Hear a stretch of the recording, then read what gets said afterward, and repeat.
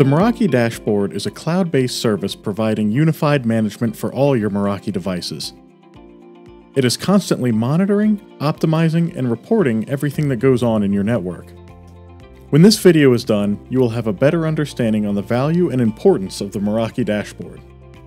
When we hover over the Network Wide button on the left, the Monitor section gives you the ability to monitor your network's connected devices while the Configure section allows you to configure certain settings specific to each Meraki network in your organization.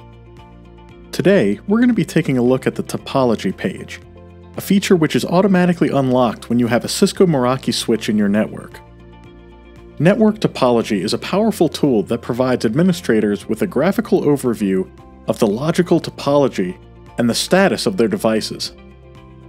The square symbols represent MX security appliances, the rectangles represent MS switches, and circles represent MR access points. Non-Meraki equipment is also detected if it is one hop away, and it will appear as an empty diamond. Meraki devices in a different network will be represented by blue diamonds. By default, the Layer 2 topology is displayed.